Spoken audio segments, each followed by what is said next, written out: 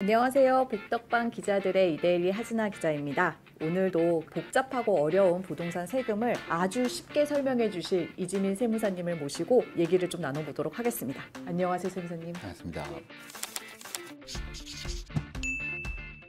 오늘은 저희가 사연을 좀 준비해 봤어요. 음, 첫 번째 사연입니다. 부모님께 투기가열 지구 내에 있는 관리 처분인가가 난 재개발 입주권을 증여받을 예정입니다. 어, 2027년 초에 입주 예정이고요. 증여세를 내야 할 텐데 이런 경우에는 조합원 입주권의 평가는 어떻게 하는 걸까요? 라는 사연이 먼저 왔는데요. 세무님 이건 어떻게 평가를 해야 되나요? 조합원 입주권을 증여받고자 하시는 경우인 걸로 보입니다. 조합원 입주권의 경우에는 그 구주택의 건립가에게 현재까지 불입한 계약금, 중도금을 더한 금액에 현재까지 형성된 프리미엄을 더한 금액으로 평가하게 되어 있습니다. 그런데 그 요즘같이 조합원 입주권 매매가 없는 상황에서는 프리미엄을 산정하기 쉽지 않습니다. 그래서 이 경우에는 감정 평가를 이용해서 조합원 입주권을 평가하고 있습니다. 조합원 입주권의 경우에는 반드시 감정 평가를 두 군데 이상 받아서 평균된 금액을 이용하셔야 됩니다. 그러면은 감정 평가로 산정된 평가액으로 증여세가 매겨지는 거라고 보면 되겠는데 이거 뭐 추가로 발생하는 세금들이 좀 있을까요? 증여세뿐만 아니고 조합원 입주권의 경우에는 분양권과 다르게 취득세가 발생합니다. 아, 네.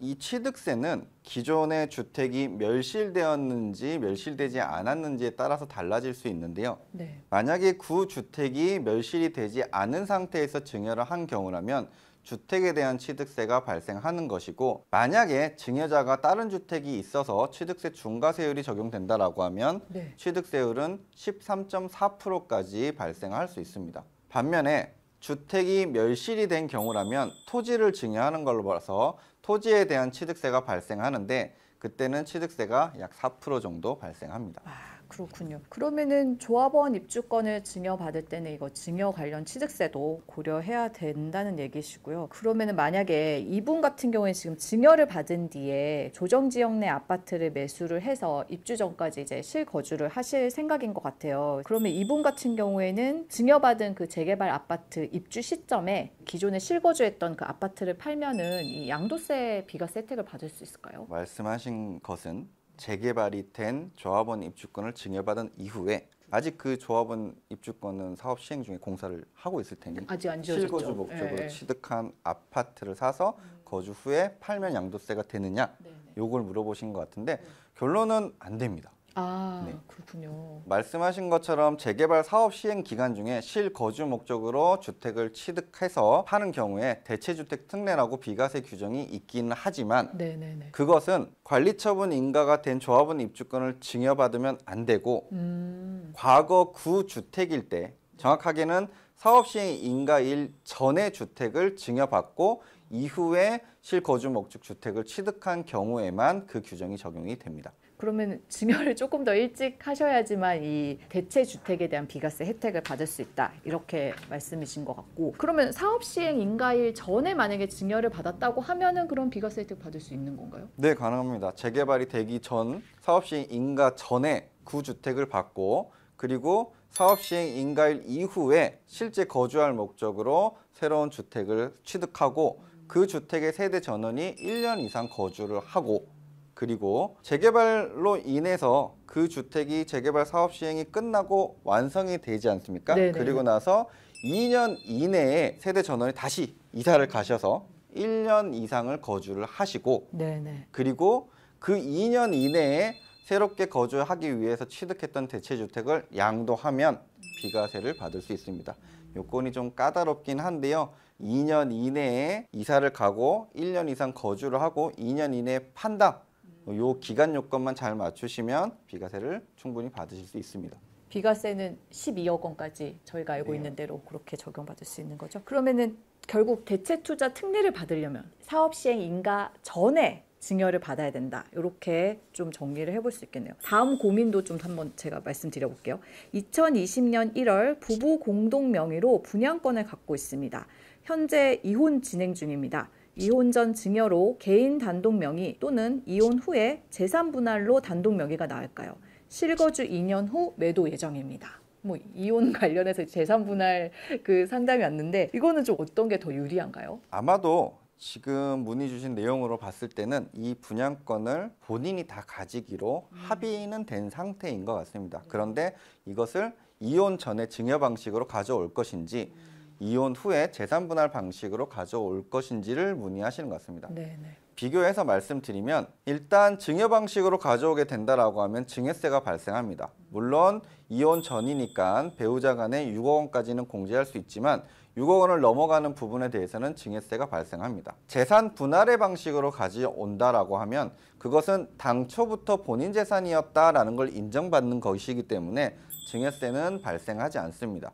이것만 놓고 봤을 때는 증여를 하면 증여세가 발생을 하니 그렇죠. 네. 오히려 재산 분할 방식이 더 낫다라고 생각을 하실 텐데 추후에 이 분양권이 아파트가 돼서 판매된다라는 것까지 생각하면 조금 다른 내용일 수 있습니다. 추후에 양도를 하는 경우에는 양도소득세를 계산할 때 만약에 증여를 받았다라고 하면 그 증여받을 때 평가액을 기준으로 취득가액이 산정됩니다. 예를 들어서 분양가에서 어느 정도 프리미엄이 올라서 증여받을 때 그 프리미엄까지 인정을 받아서 증여세를 냈다라고 하면 추후에 양도를 할 때 취득가액 산정을 그 프리미엄까지 합쳐서 계산하게 되는 것입니다. 반면에 재산 분할 방식으로 이루어진다라고 하면 당초부터 본인 재산이었다라는 것이기 때문에 증여세도 발생하지 않고 양도를 할 때도 그 분양가액만 취득가액으로 인정이 되므로 양도소득세는 아무래도 증여를 받은 경우 취득가액 인정이 더 많이 된다라고 보셔야 되는 것입니다.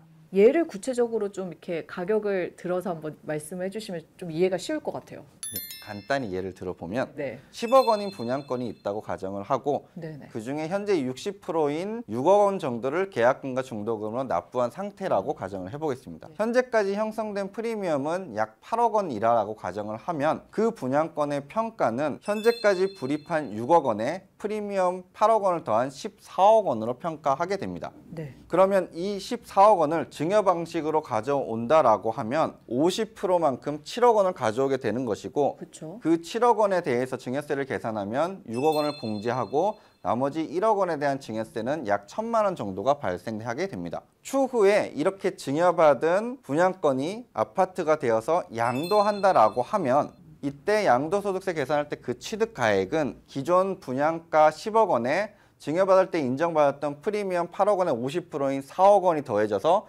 취득가액은 14억 원으로 인정받게 됩니다. 반면에 재산 분할 방식으로 가져온다라고 하면 당초부터 본인 재산이었다라는 것이 인정받은 것이기 때문에 증여세는 없고 추후에 양도할 때도 당초부터 분양을 받았던 그 10억 원이 나의 취득가액이 되어서 10억 원만 취득가액으로 인정되는 것입니다. 그럼 증여 받은 경우에는 취득가액이 14억 원. 그리고 재산 분할할 경우엔 취득가액이 10억 원. 이 4억 차이가 나니까 그러면은 나중에 이제 양도세 계산할 때 생각하면은 뭐 이거 증여받는 경우가 무조건 좋다 이렇게 볼 수도 있지 않을까요? 반드시 그렇지는 않습니다. 그분께서 실거주 2년을 하고 매도를 한다라고 하셨는데 네, 네. 만약에 다른 주택이 없다면 비과세 혜택을 받으실 수 있습니다. 양도소득세 비과세 혜택을 받으면 12억 원까지는 세금이 없으며 3년 이상 보유했다라고 하면 장기 보유 특별공제도 최대 80%까지 받으실 수 있습니다. 만약에 이분께서 10년 이상 보유를 하고 추후에 한 20억 정도의 판매를 했다라고 하면 실제로 증여를 받아서 양도했을 때 양도소득세 절세 효과가 800만 원밖에 되지 않습니다. 그러면 10년 이에 절세 효과 800만 원 때문에 지금 증여세 1000만 원을 내는 꼴인데 그런 경우에는 굳이 증여를 하실 필요가 없는 것이죠. 결국 이제 1세대 1주택자인 경우에는 향후 얼마나 보유하고 매도하느냐에 따라서 좀 비교를 해보시는 게 좋을 것 같네요. 그럼 만약에 다른 주택이 있어서 뭐 양도세, 비과세 혜택을 받을 수 없다. 이 경우에는 그러면은 증여가 더 낫다. 이렇게 봐도 무관할까요? 반드시는 아니지만 네. 대 어, 어느 정도 금액까지는 맞는 말씀입니다. 증여를 해서 증여재산 공제 6억 원을 이용해서 취득가액이 늘어나기 때문에 네. 어느 정도 금액까지는 양도소득세 절세 효과가 충분히 있다고 보여집니다. 다만 이렇게 비과세 혜택을 못 받고 양도소득세 혜택을 보는 경우에는 2월 과세 규정이 적용됩니다. 이월과세 규정이란 배우자로부터 증여를 받은 후에 5년 이내에 그 주택을 양도하는 경우에는 증여받은 금액이 아니라 당초 증여자가 취득한 금액으로 양도소득세를 계산하게 됩니다. 편하게 말씀드리면 증여세를 내고도 증여받은 그 프리미엄은 하나도 인정받을 수 없다는 말씀입니다. 아 저번에 그 세무사님이 말씀해 주셨던 그 이월가세 이거 기억이 납니다. 근데 이게 이혼하신 분들도 이게 해당이 되나 보네요. 네, 맞습니다. 증여를 받고 설령 이혼을 하셨다 하더라도 어, 이월과세 규정은 계속해서 적용이 됩니다. 그리고 그 이월과세 규정이 제가 계속 5년이라고 말씀드렸지만 네, 네. 지난 8월에 세제 개편안에서 발표된 바에 따르면 2023년부터는 10년으로 늘어날 계획입니다. 그래서 만약에 증여하실 계획이 있으시다면 올해 안에 증여를 해야만 5년 다소 짧은 10년보다는 다소 짧은 5년만 기다리시면 된다는 걸 꼭 유념해 주셨으면 합니다. 네, 알겠습니다. 자, 오늘도 그 세무사님을 모시고 부동산 세금에 대해서 얘기를 나눠봤습니다. 어, 추가로 궁금하거나 또 상담받고 싶으신 내용이 있으시면은 저희 영상 아래 댓글이나 메일로 보내주시면은 또 세무사님이 또 친절하게 상세하게 설명을 해주실 것 같아요. 그 세무사님 오늘도 너무 고생 많으셨습니다. 다음에 또 뵙겠습니다. 네. 감사합니다.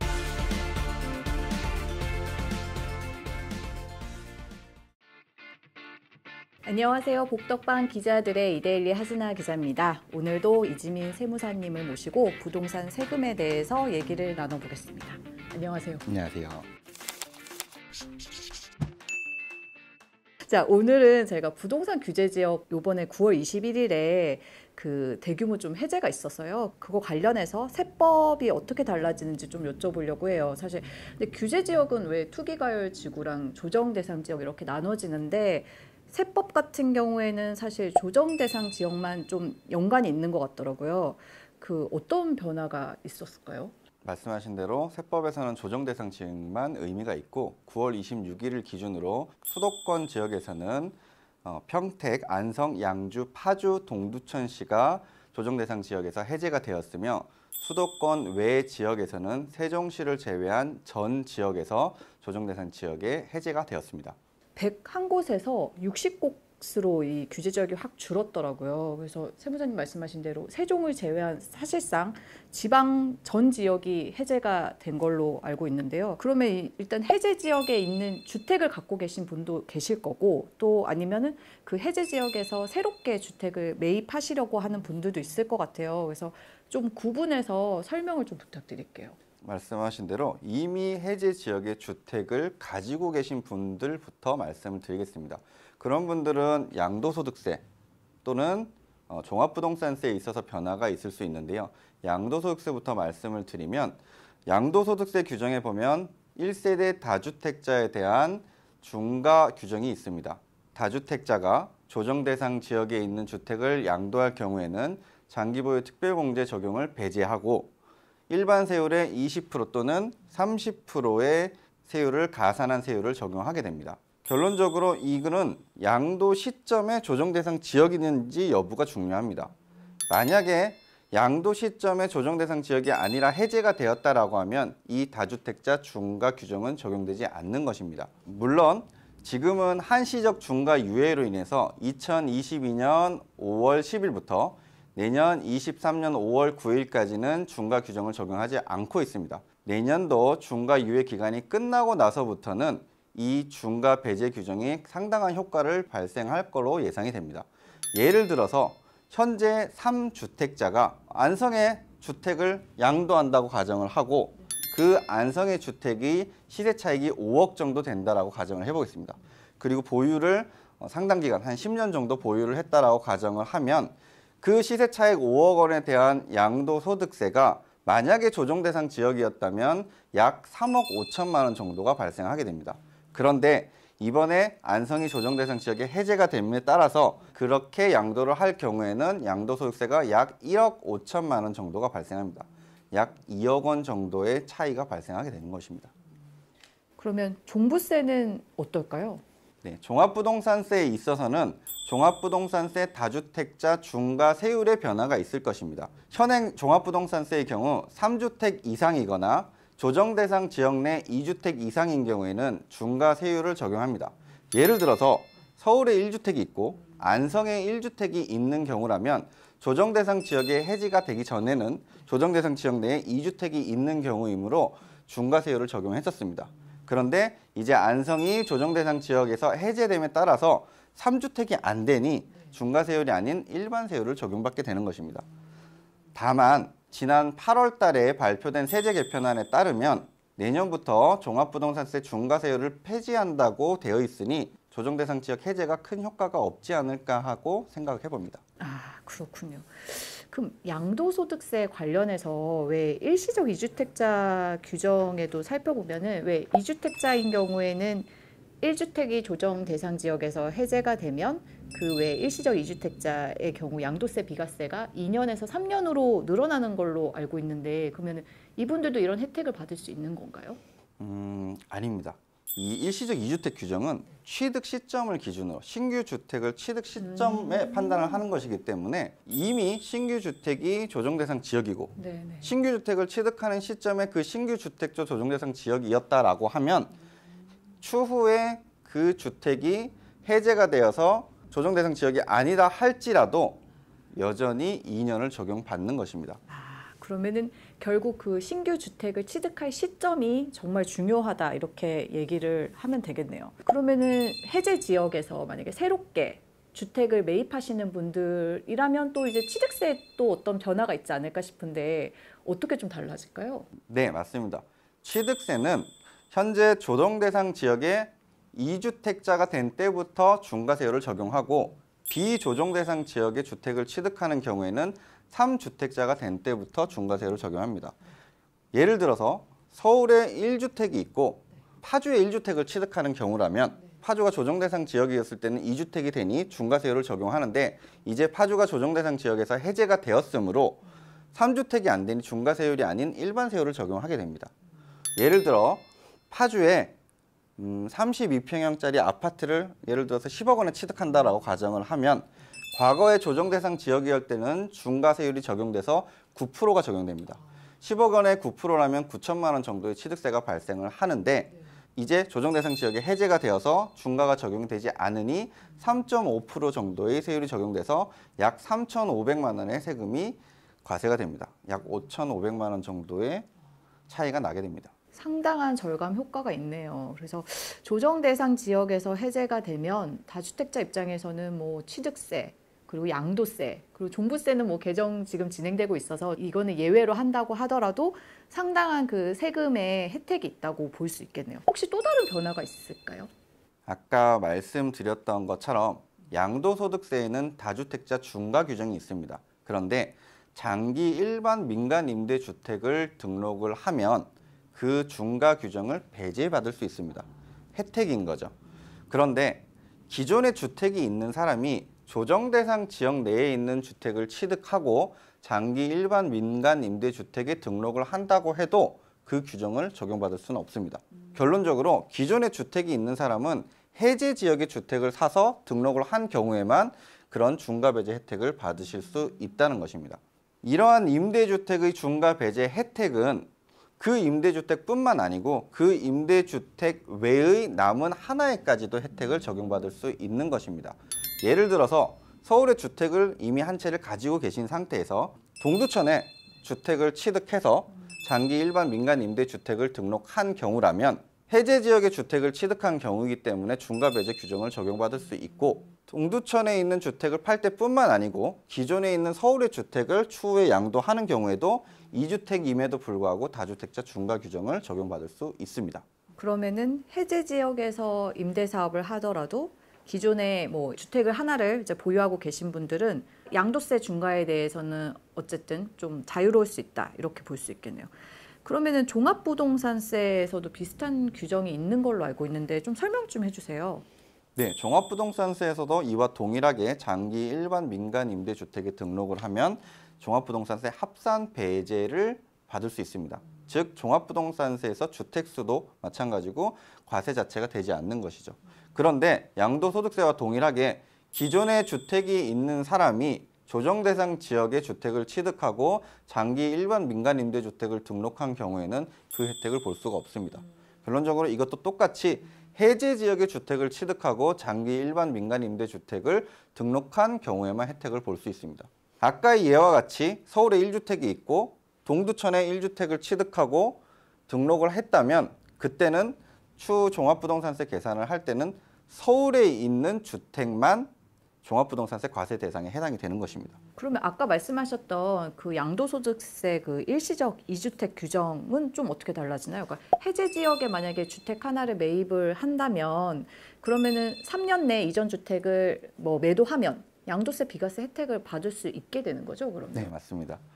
어, 말씀드린 것처럼 일시적 이주택 규정은 신규 주택 취득 시점이 중요하기 때문에 취득 시점에 신규 주택과 기존 주택이 둘 다 조정 대상 지역이 아니라면 3년 규정을 적용받을 수 있게 됩니다. 말씀드린 것처럼 서울에 1주택이 있고 동두천에 아까와 예에 같이 1주택을 취득한 경우라면 동두천 주택이 조정 대상 지역에 해지가 되었으므로 동두천 주택 취득일로부터 3년 이내에 기존 주택을 팔면 비과세를 받을 수 있습니다. 이는 동두천이 추후에 조정 대상 지역이 된다 하더라도 여전히 3년 규정을 적용받게 되는 것입니다. 그 취득 시점이 중요하니까 지금 말씀하신 대로 향후 조정 대상 지역으로 다시 지정이 되더라도 그 혜택을 받을 수 있다. 이렇게 정리하면 되겠죠. 규제 지역 해제된 지역들을 대상으로 해서 부동산 세금이 좀 어떻게 달라지는지 세무사님을 모시고 말씀을 들어봤고요. 오늘 너무 고생 많으셨습니다, 세무사님. 감사합니다. 그 혹시나 그 부동산 세금에 관련해서 좀 뭐 궁금하신 부분이나 아니면은 뭐 상담 내용이 있으시면은 저희 유튜브 댓글로 남겨주시거나 아니면은 메일로 보내주시면 저희가 향후 콘텐츠 제작하는 데 큰 도움이 될 것 같습니다. 지금까지 복덕방 기자들의 이데일리 하진아 기자였습니다. 감사합니다.